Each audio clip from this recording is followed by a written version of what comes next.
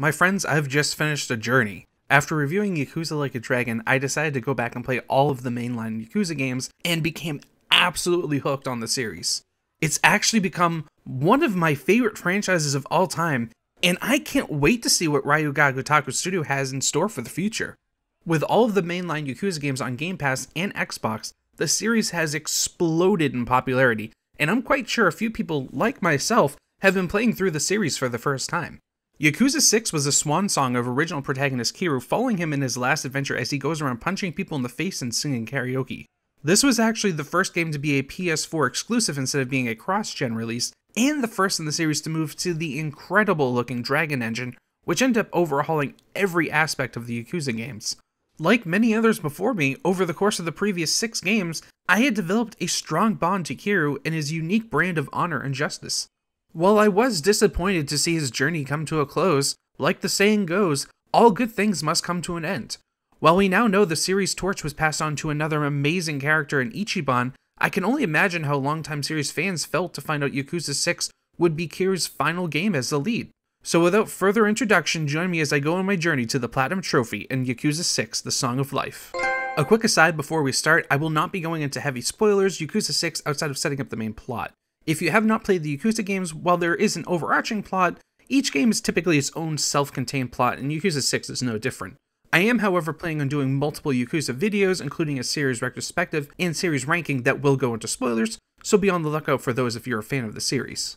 We start off with Kiryu going to jail for three years to help save his family from the fallout of the ending of Yakuza 6. Of course, if he had just hired a good lawyer, it's said that he would be able to get off without any jail time, but Kiryu being Kiryu, he decides it would be best for his family if he did go to jail. Haruka and the kids of the orphanage are obviously devastated by this, but they do their best to move forward. While Kiryu is still in jail, Haruka is continually harassed by journalists, which she fears will have negative ramifications for the future of the kids of the orphanage. She sneaks off one night saying that she wants to live closer to Kiryu and that she will return once he's out of prison. Once Kiryu is released from prison, he is happy to finally be with his family again, only to be shocked to find out that Haruka is not at the orphanage. The kids are also confused because they were under the impression that she had moved close to Kiryu so she could visit him. Kiryu, wanting his family to be whole, promises he will find Haruka, and he immediately leaves for Kamurocho to find clues to her whereabouts. While in Kamurocho, Kiryu discovers that Haruka is also there, however, she has been in a hit and run accident and is now in critical condition. When Kiryu arrives at the hospital, he is shocked to find out that Haruka now has a son named Haruto. He is skeptical that the hit and run was an accident, and also wants to find the father of Haruto, so he can be there for Ruka, which sets up the main plot of the story. Since Haruka is now in a coma, the only clue Kiryu has is that she was in Hiroshima, so he sets off with Haruto to find the child's father. Of course, this being a Yakuza game, Kiryu stumbles into multiple plots involving rival mafias and gangs along the way. The Saio Triad and the Yakuza Tojo clan are currently at war in Kamurocho, and it is escalated to the point where Tojo clan members are being murdered in the streets. Prior to Kiryu being released from prison, Little Asia in Kamurocho had been burnt down, causing the police to arrest Majima, Daigo, and Saejima in a desperate attempt to stop the war from happening. This causes a new power struggle in the Tojo clan, of course, along with other factions to move into Kamurocho like the Jingweon Mafia. Kiryu finds himself in the middle of everything after befriending members of the Yomei Alliance's Hirose family, as he has to fight his way to find out who Haruto's father is and why Haruka was hit by a car. Like I mentioned earlier, since Yakuza 6 was made in a new engine, everything from the worlds to the combat minigames was remade from the ground up. Combat, while very similar to previous games, has a different feel to it. It's the same action brawler old school beat 'em up style that we've grown accustomed to, however, there are some key changes. Combat will feel a bit sluggish at first. Part of this is due to the game's performance, although I will go over that more in detail later on, and part of it is that combat speed upgrades feel more significant than in previous entries this time around. You still have your heat actions, which are as brutal as ever, but they are a bit sparse compared to other games in the series. This made combat feel a bit stale at times when no heat actions were available, but extreme heat mode feels better than ever. When you activate it, you gain speed, and if you hit the quick time event buttons, it can dish out incredible amounts of damage. My one issue with it is that the camera pulls way too far in, which made it difficult to see what was going on in some boss fights when I activated it. Leveling was completely revamped as well, now you earn experience points in 5 different categories, all of which can unlock different abilities and stat upgrades. In some ways, it felt a little bare bones because I had already played Yakuza Kiwami 2, which used the framework of Yakuza 6 and added in a ton of new features and abilities, but nonetheless, Yakuza 6 overall was a huge step in the right direction for the most part. Many games are back, and in almost every case, better than ever. Again, since this was the first game in a new engine, there are quite a few missing minigames that would be added back in Kiwami 2, however, there's still plenty to do. Of course, mainstays like Mahjong and Shogi are essentially the same. Hooray. But some minigames like baseball and karaoke have been completely changed, in my opinion, are significantly better than they were before. Baseball feels much more skill based as you have to aim the cursor to meet the baseball instead of the game just automatically hitting it for you when you press the button. There's also a few new games like spearfishing, bar friend making, internet chatting, and hostess dating that add in variety. I actually love the spearfishing. It's basically an on rail shooter that can be quite challenging, and it even has its own quest line that you have to finish for certain trophies. The new baseball team manager minigame was my favorite though. It had its own quest line and has you manage and recruit a team of baseball players and ends up being a baseball RPG. You set your lineup, level up teammates, and can even substitute in pitchers and pinch hitters when you need to. I did miss bowling and pool and hope they do add them back in future games. Overall, it's a Yakuza game. While it's a little light on content compared to previous entries, everything that Yakuza fans know and love is here. I actually thought in a vacuum, the story was one of the better Yakuza stories, but outside of that vacuum, it didn't feel like a great send off for Kiryu. The vast majority of previous cast members that we've all grown to know and love were cast aside for a completely new set of characters. And while these new characters aren't the best we've seen from the series, they certainly aren't bad ones either. The problem is that this was Kiryu's final game. So much was left on the table for a bog standard Yakuza game plot, which again is totally fine, but it just didn't feel right for the last game starring Kiryu. While Haruka, Date, and Akiyama have very brief appearances, other characters like Majima, Daigo, and Saejima are only in the game for a few seconds. I think the game was a bit rushed, and I assume Sega wanted to leave the plot open in case they wanted to bring back those characters for future games which is fine, but I would like to see, you know, a satisfying conclusion to the end of the stories of all these other characters. Which makes Yakuza 6 story feel a bit hollow in some ways and not really a proper send off for Kiryu. I'll be doing a Yakuza game series retrospective in the near future, so I'll give my full thoughts in that video as I don't want to give away too many spoilers in this one, but again, while the story was enjoyable, it was more disappointing knowing that so many things would be left undone for Kiryu's story. I did run into some performance issues on the PS5 as well, especially during cutscenes. Most of the other Yakuza games are 60 FPS, but unfortunately Yakuza 6 is stuck at an abysmal 30 FPS even on newer consoles. This won't be an issue for PC players, but sadly there has been no PS5 patch to improve performance, which made combat feel sluggish at times. I hope they will eventually improve the performance, however, seeing how they handle Judgment, I just unfortunately don't see that happening. Okay, so let's get into the platinum requirements. If you've gone for a Yakuza Platinum, you already know they are legendarily grindy and ridiculous. However, Yakuza 6 is probably one of the quickest in this series by a long shot. Don't get me wrong, there's still some pretty significant grinds, but they are nothing compared to some of the other Platinums in the series. The one big significant difference is that this time around, you do not have to fully complete the insanely long completion list. For those unaware, the completion list is unfortunately a staple of the Yakuza series that documents every minuscule little thing that can possibly be done in the game and then some. While this is actually appreciated, what isn't is forcing players to 100% it for a platinum, as there are generally a significant amount of tasks that are very tedious or rely on RNG, which is never ever a good thing. For Yakuza 6, you only have to do 100 tasks on the list, which you'll easily finish just going through the game while finishing some of the other random trophies. Now, don't get me wrong, you still have to do most of the list, you just don't have to do some of the worst parts of it, which made such a huge difference. You can still, of course, complete everything, but the amount of experience you gain is very little compared to the amount of time it takes to complete, as there's much better ways to gain experience outside of the completion list. So the main trophies are, of course, to beat the game, then to beat again on legendary difficulty, max out all stats, finish all sub-stories, and level a clan creator character to max level.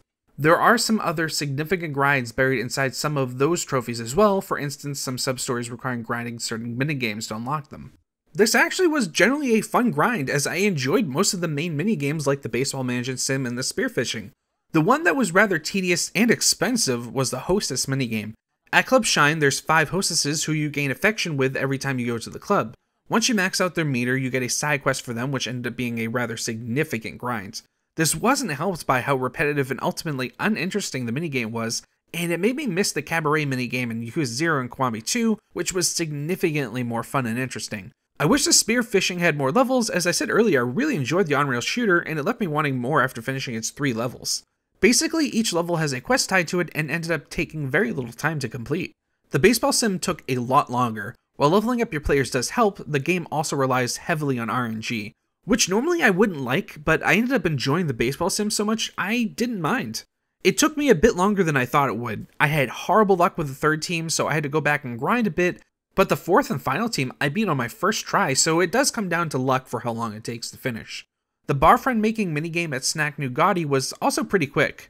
There's really not much to it. You visit the bar, and when you drink with a person, your friendship meter goes up, which is done with a click of a button. There's no gameplay to it. After you max out the meter, you get a substory for that person, which will consist of a very long dialogue tree where you have to pick all of the right answers for. While most of the answers are pretty straightforward, sometimes it's not, and all the chat options seem roughly the same. This wasn't a terrible minigame, but certainly not the best that we've seen from the Yakuza games. If you go for the platinum, I'd recommend just using a guide for the right answers because there's not too much fun to be had with this minigame.